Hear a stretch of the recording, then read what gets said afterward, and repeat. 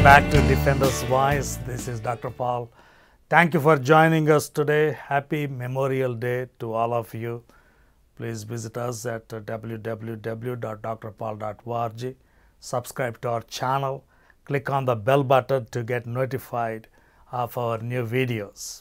Also, make a comment to these videos because your comments will push these videos into good algorithms and help us reach more people. Send your questions to info at drpaul.org.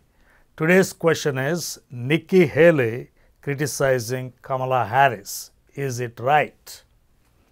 So on Saturday, Kamala Harris tweeted, Enjoy the long weekend. Nikki Haley retweeted it and wrote, Unprofessional and unfit.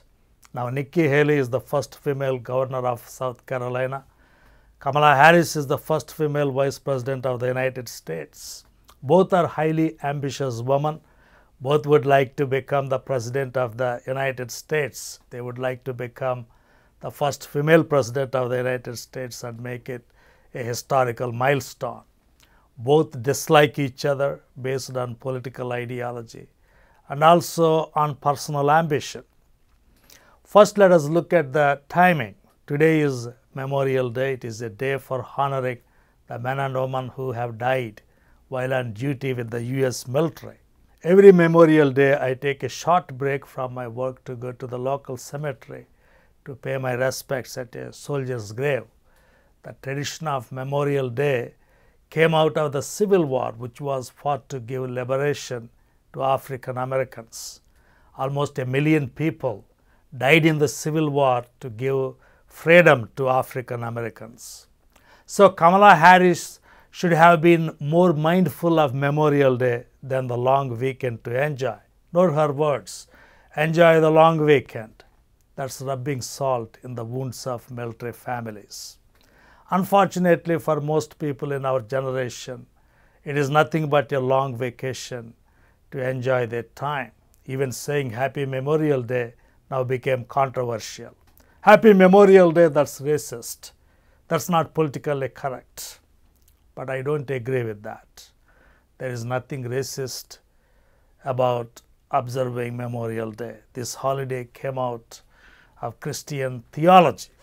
Before his death on the day of Passover, our Lord Jesus Christ took bread, gave thanks, broke it, and said, This is my body, which is given for you. So do this in remembrance of me. I am going to sacrifice my life for your sins. Give thanks and continue to do this in remembrance of me. So every Sunday is a memorial day for us because we take time to remember our Savior who came to this world to die for our sins. Memorial Day came from that Christian tradition. When you go to uh, Arlington National Cemetery, you see crosses engraved on those memorial stones. When you visit Normandy Cemetery and Memorial in France, you see so many crosses standing across green patches. Just like Jesus gave his life for our sins, these soldiers gave their lives for our liberty. Just like Jesus died so that we may live, these soldiers died so that we may live. Memorial Day has such Christian connotations. Kamala Harris should respect that. It would have been nice to say Happy Memorial Day instead of enjoy the long weekend. Kamala Harris thinks she is entitled to become US President. She is a child of our entitlement culture. Memorial Day is a day of thankfulness. Jesus broke the bread and gave thanks. When you recognize sacrifice, you will become more thankful. The progressives do not recognize the sacrifices of others. You do not find them thankful on for anything.